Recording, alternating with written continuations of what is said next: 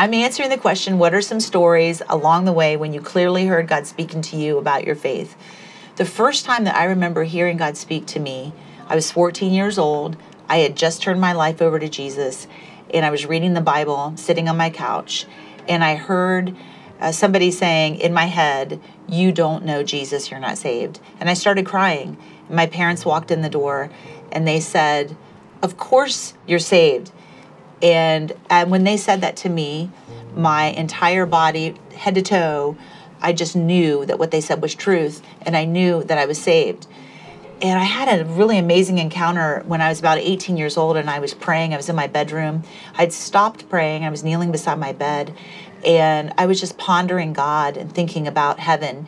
And in my room, it I just felt this power come upon me. I almost felt like I was going to pass out and I kept opening my eyes thinking that maybe the feeling would go away because I was scared.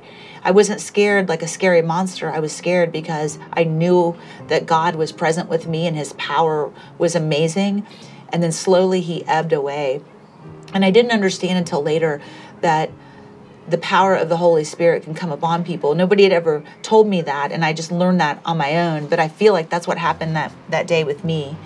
Um, one amazing thing that happened was I was, uh, I was, it, I don't know, I was young married. I was vacuuming upstairs in my bedroom, and I had this sensation, uh, a knowing. God told me that He was going to heal my friend Don Bryant and Don Bryant had been in the hospital for six months. He was on his deathbed. He kept getting worse and worse. He was complete, completely comatose, and he wasn't responding to anything. So Monday morning, I called my friend and I said, I need to tell you something. And she said, I know what you're going to say. Don Bryant is going to be healed. So my best friend and I both knew that Don Bryant was going to be healed. And we ended up telling his wife. And uh, to make a very long story short, Don Bryant was healed. And it was an unbelievable miracle of God. And we found out later that someone had gone to his hospital room, laid hands on him, and prayed for his healing at 3:30 in the afternoon, at the same time that my friend and I heard that God would heal him, which He did. Um, another amazing moment for me was when it was 9/11. It was September. So all of that was happening on in the world. So it was very unstable. My grandmother had died. Um, I had my boss, who was like my father, uh, left the company. A couple of other things that happened. The worst thing of all, in all of that, the end of that, was that my best friend uh, fell down the steps in her house, hit her head on the basement floor, and ended up getting an epidural hematoma.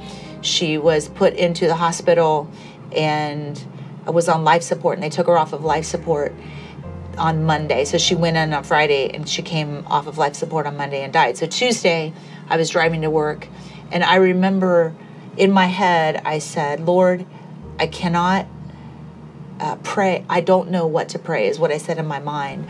And in that moment, I felt arms around me, hugging me. And I knew that Jesus was with me and that he would never leave me, even in the lowest and darkest times of my life.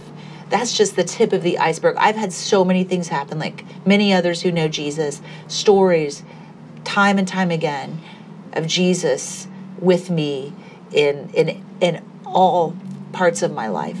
So I am blessed.